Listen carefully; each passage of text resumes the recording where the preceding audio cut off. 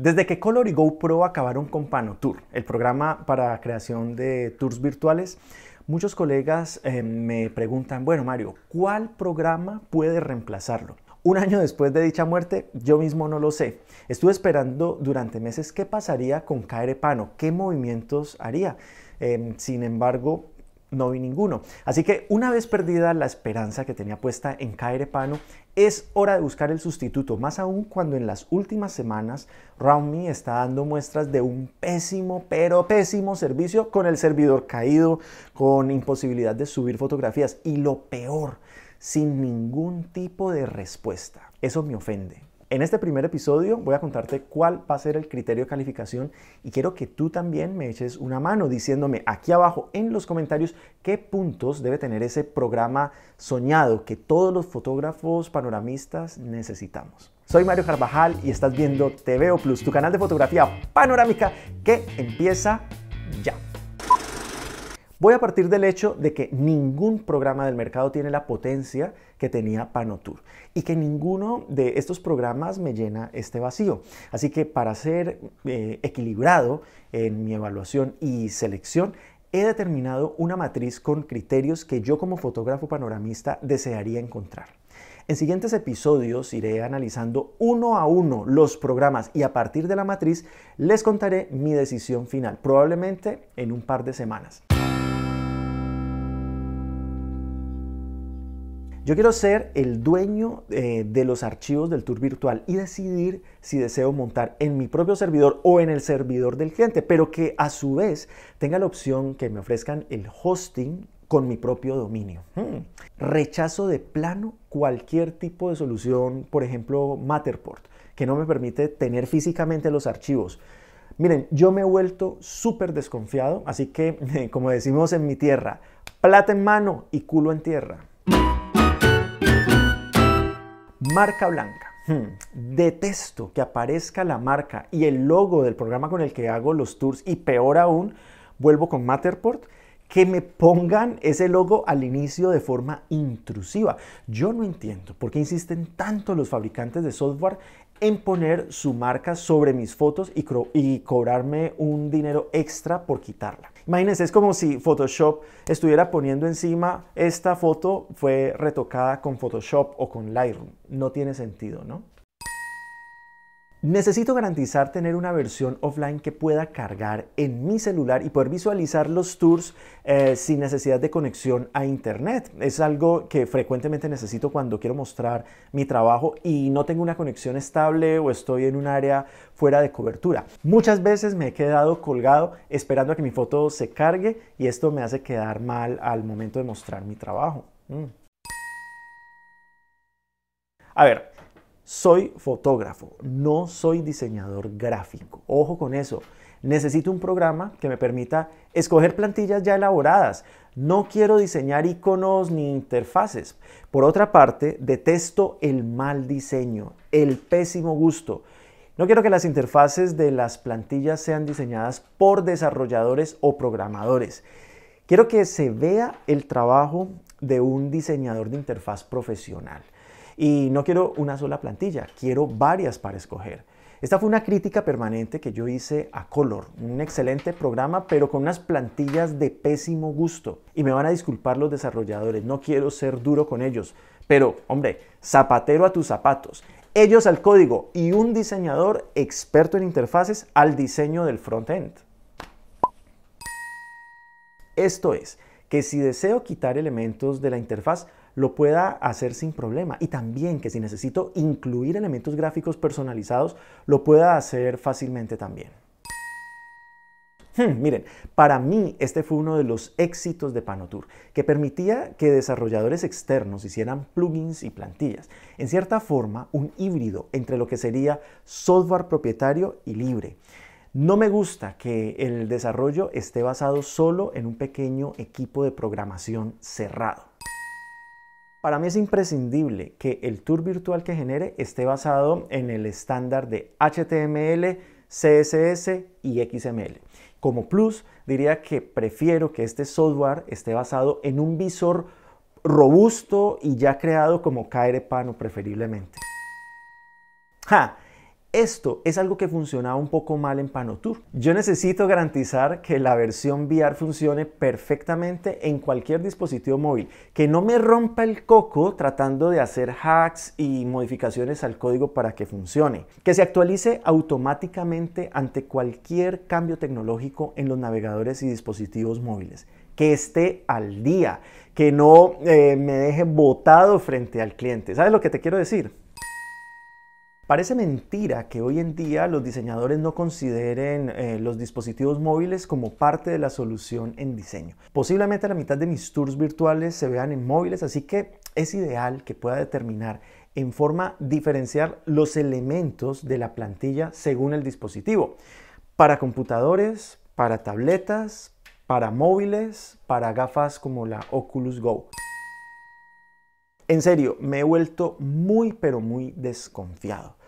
Ya hemos visto el caso de Panotour o de Panono o del programa de fotógrafos de confianza de Google y ahora estamos viendo lo que está pasando con Raumi. En fin, que en cualquier momento quedamos expuestos a que la empresa cierre y no solo perdemos el costo del software, sino peor aún, la cantidad de tiempo invertido en su aprendizaje, o sea, la curva de aprendizaje. Así que quiero cierta garantía de continuidad de la empresa fabricante del software, o sea, solidez.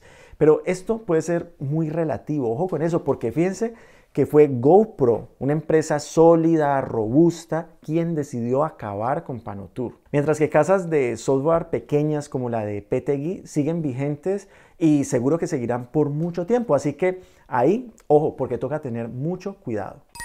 Que el costo no supere los 500 dólares.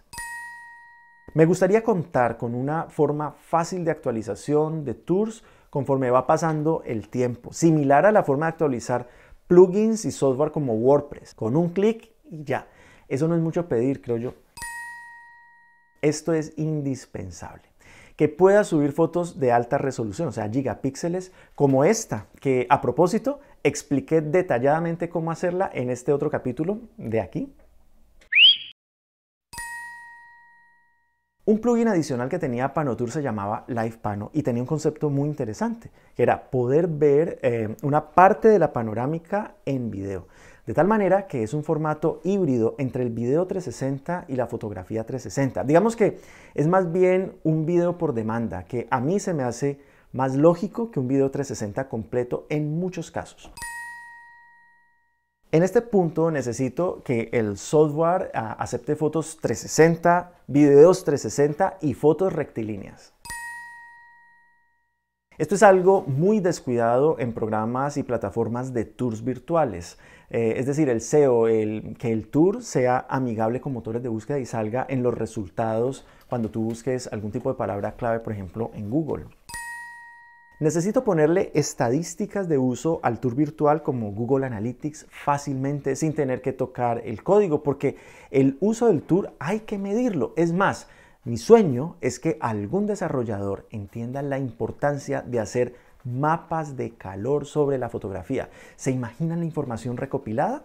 Por ejemplo, ¿Qué áreas o cuáles áreas son eh, las más vistas, las que nunca se ven? Esto tenemos que saberlo como fotógrafos. Y es algo ya inventado, realmente se hace con páginas web desde hace años.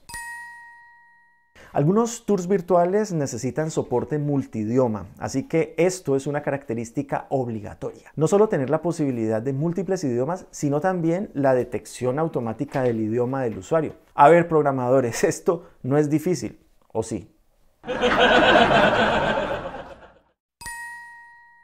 Ojalá tenga muy buena documentación, fácil de entender y en el mejor de los casos que sea amigable, que con el primer uso intuya cómo hacer las cosas.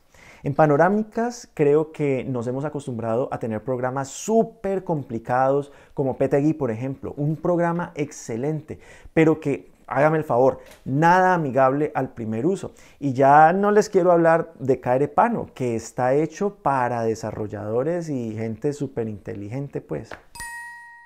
Quisiera que la curva de aprendizaje sea muy corta. Es más, que no exista curva de aprendizaje al ser puramente intuitivo, que pueda crear el primer tour en cinco minutos. Una vez más y que quede claro, que esté pensado para fotógrafos y no para programadores.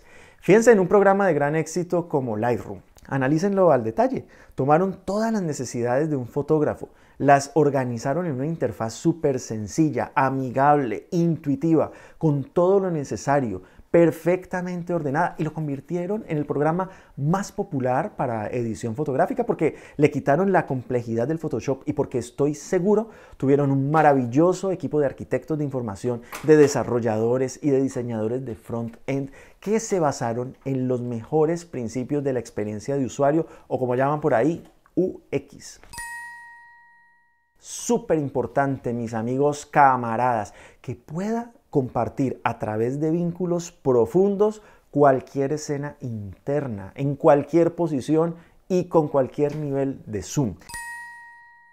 ¿Cuánto me gustaría que a través de la interfaz del software yo pudiera gestionar los rich snippets, que son los mm, fragmentos enriquecidos? Son fragmentos que usan la metadata del Open Graph Protocol para que cuando se comparta en redes como Twitter, Facebook, aparezca llamativo ese enlace para hacer clic y no ese horripilante mensaje que salía, por ejemplo, en Panotour. Necesito manipular la miniatura de cada escena, grupo, de cada grupo y del proyecto en general, como lo hacía en Panotour. En muchas ocasiones necesito incluir un mapa de Google fácilmente para ubicar los hotspots de cada escena. Asimismo, en innumerables ocasiones necesito agregar planos arquitectónicos de diferentes niveles o plantas, es decir, lo que llaman multinivel. Y no hablo de Herbalife. Los hotspots eh, son una de las principales herramientas para gestionar el contenido interno de un tour virtual. Así que me interesa que no solo me conecten las escenas entre sí, sino que también pueda agregar hotspots desde diferentes eh, medios. Por ejemplo, videos eh, de YouTube, Vimeo, audio, páginas de HTML, fotografías, etc. Algunas veces necesito tours virtuales con accesos de usuario y contraseña de manera privada. ¿Cuánto me gustaría una gestión eh, de sonido tanto ambiental con hotspots, pero también con pistas para narración o locución en un segundo plano, pero que tenga además controles de pausa, volumen, etcétera? Una de las buenas características de Panotour que en otros programas se extraña es poder agrupar las escenas, lo que nos sirve individualmente para gestionar tours virtuales de gran tamaño y con un gran número de escenas. Muy bien, pues hasta ahí mi lista inicial.